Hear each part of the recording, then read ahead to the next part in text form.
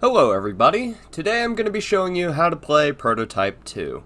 If you're here, then you probably got the game and realized that it just doesn't work. You can either try starting it from the little shortcut that Steam usually likes to give you when you get a game, or you can try it from Steam.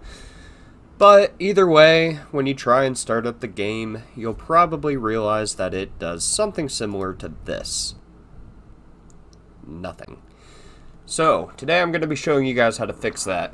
The reason that this is happening is when this game was being made for PC, the devs didn't think anyone would have a processor with anything above 4 cores. Well, that's great. So we're going to fix that. The first thing you can do is you can go to Device Manager and disable your HID compliant consumer control devices. This works for some people, this didn't work for me. The second thing you can always try is to go to the settings of the game in Steam, go to Properties, Local Files, and Verify Integrity of Game Files. This does also work for some people, again, not me. For whatever reason, if you have hyperthreading enabled in your BIOS, Prototype 2 will just not work, so we're going to fix that.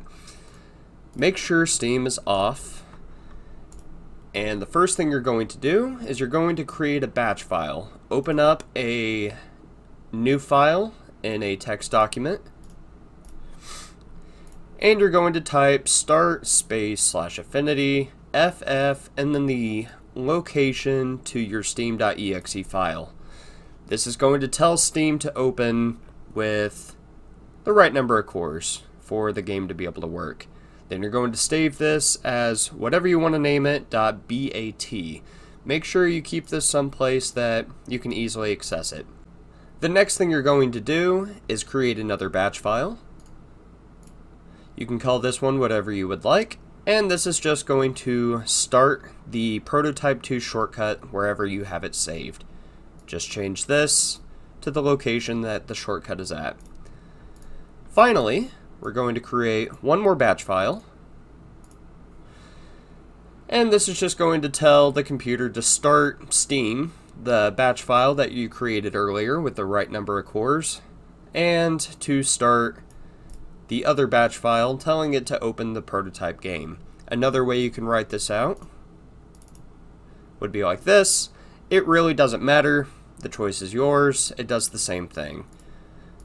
Finally, we're going to go to properties and hide these two batch files. They're kind of eyesores and we don't need them anymore. So finally, open up the batch file you created.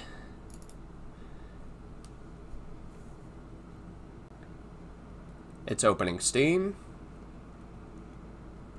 And now it should open up Prototype 2.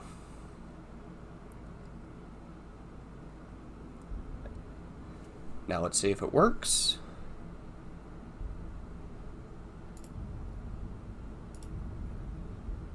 And there we have it. The only problem with this way of opening the game is whenever you leave,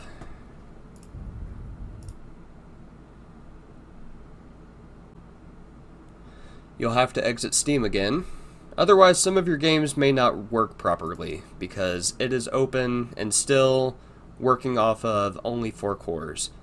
And you have these things to exit out of. Other than that, I hope this helped.